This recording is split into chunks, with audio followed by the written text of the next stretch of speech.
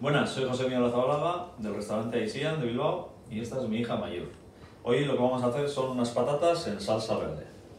Entonces, para hacer estas patatas lo que necesitaremos sería, pues primero, para hacer un buen fumé, pues necesitaríamos una cabeza de merluza, los restos de pescado que tengamos por ahí, guardados en el congelador, lo que sea. Y aquí, pues un par de trocitos de lomo, pues para poner luego al final de, cuando hagamos, ya os explicaré en qué momento. Unas patatas, más o menos calculáis eh, pues dos patatitas por persona o una grande por persona, ¿vale? Luego harina, un poquito de perejil, este perejil es de denominación de origen de Altamira, aceite de oliva virgen, sal y un poquito de vino blanco, chacolí, lo que podéis, eh, lo que queréis echarle, ¿vale? Y para hacer un poco el caldito también le echaremos una media zanahoria y las, pues la cebolleta que nos va a sobrar aquí. ¿Mm? Sea, las puntas de cebolleta que nos va a sobrar de, al cortar la cebolleta echaremos también para hacer el fumé. Y dos dientes de ajo, ¿vale? Vamos a empezar es a hacer el fumé. Primero pues tendremos la cabecita de, de la merluza y las puntas que podamos tener por ahí, ¿vale? Vamos a echar estas puntas de cebolleta, que no las tiréis, muchas veces valen para estas cosas, para hacer caldos, o lo que queráis, ¿vale? Una zanahoria y la merluza en agua que tengo ya caliente aquí, ¿eh? Puntas de, pescado me sobra por aquí. Y un chorrito de vino blanco. Y a Mayu lo que va a ir haciendo es cortar la, en rodajas la patata, ¿vale? Sin cortarte.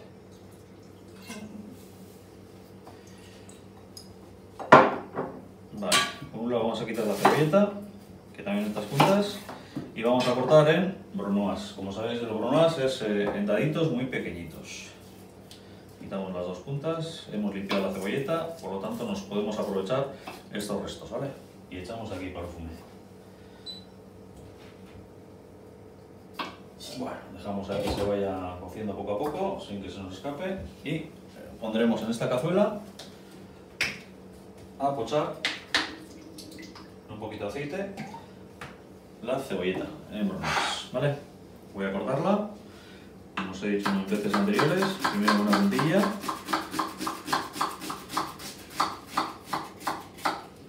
y después con el cuchillo, ¿vale? Bueno, ya tenemos la cebolleta cortada y la patata cortada, ¿no? La patata cortada más o menos en rodajas hermositas, gorditas, ¿vale? Para que se va a hacer mejor, no se nos rompa. Echamos la cebolla poco a poco aquí y queremos que nos haga primero la cebollita, un poquito. Muy finita para que luego no se note la cebollita.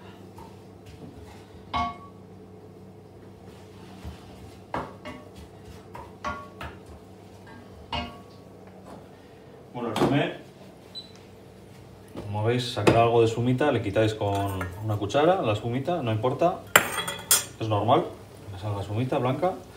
Dejamos ahí que hierva un ratito bueno, unos 10 minutos antes de poder utilizarlo, ¿vale?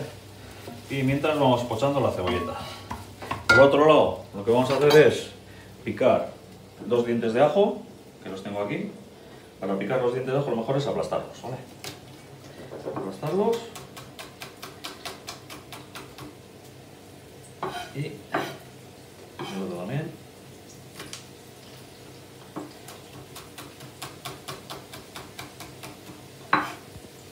Vete removiendo eso, a Mayur. La cebolleta. Picando esto, cuando tengamos ya la cebolleta más o menos pochada, añadiremos esto. ¿Vale? Bueno, ya tenemos la cebolla, la cebolleta ya bien, ya cogiendo un poquito de color. Antes de que empiece a coger el color ya echamos el ajo. Dejamos que se fríe un poquito el ajo ahí. Y ahora añadiremos la patata. Mayor vete cogiendo las patatas, las aquí todas.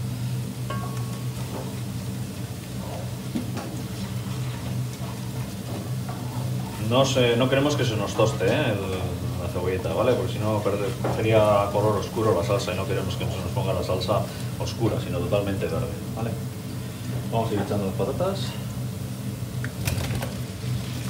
Podemos hacer de dos maneras. Una, a mí me gusta echar la patata aquí y que se coja pues, toda la cebolleta, el ajo, todos esos aromas.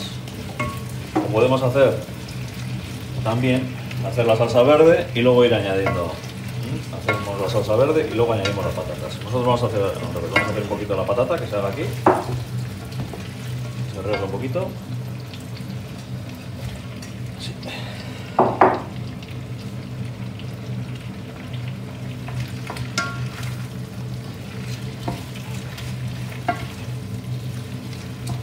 También yo le voy a añadir una gotita de harina, pero una gotita de harina va que para que la salsa quede un poco ligada, pero bueno, con la fécula de la patata prácticamente no hace falta harina. ¿eh?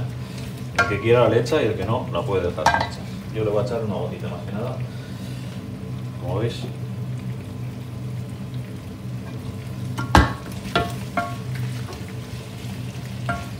Seguimos removiendo. Que se salga la harina por ahí. Y ahora ya hemos tenido el fumé hirviendo durante aproximadamente unos 15 minutos ya, ¿no? Y la cebolleta pochando, pues unos 5 o 6 minutos más, ¿eh? Tampoco mucho tiempo. Ya tenemos, ahora tenemos el perejil. Lo que hacemos es, yo creo que hago es cuando tengo mucho perejil, lo pico muy fino, muy fino. Este perejil está picado y congelado, ¿vale? Abundante perejil lo tapamos y lo metemos al congelador otra vez. Tenemos el perejil y ahora echaremos un chorrito de vino blanco.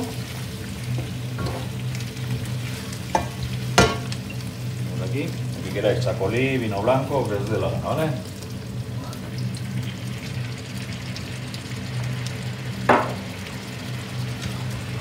Y por último, por aquí, una esquina de sal. sal para que quede. Luego ya probamos y si hace falta añadir, añadimos el kilo Y ahora ya el caldo de pescado.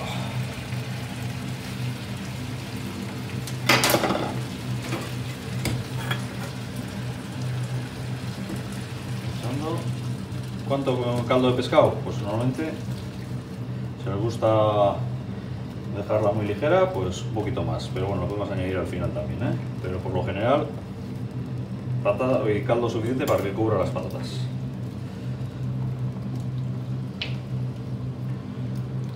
Ahí las tenemos, poquito a poco.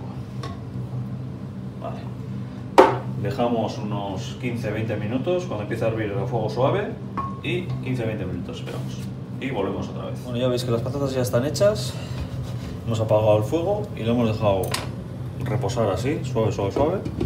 Y ahora lo que vamos a hacer, no le hemos echado nada más de caldo. Si hiciese, si os gustan más, más caldosas, echamos el caldo de aquí. ¿eh? Bueno, he sacado la cabeza de merluza y la he puesto aquí para que se enfríe un poquito y para poder desmigar esta, ¿no? Pues tiene aquí la carrillera, que es donde más carne tiene. Desmigamos ahí y sacamos a un platito y lo echamos ahí.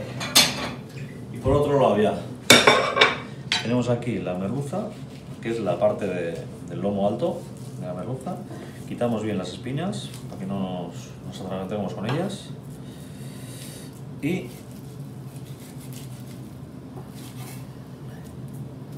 lo que hacemos es cortarlas en rodajas y justo antes de ir a comerlas,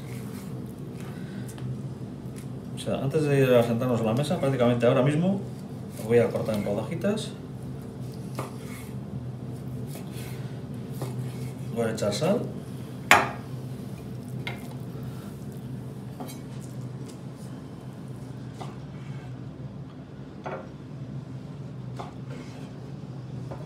Y los pondremos ahí encima de, lo que es la salsa sin llegar a hervir, ¿eh? Ya con el fuego apagado, lo ponemos encima de, las patatas.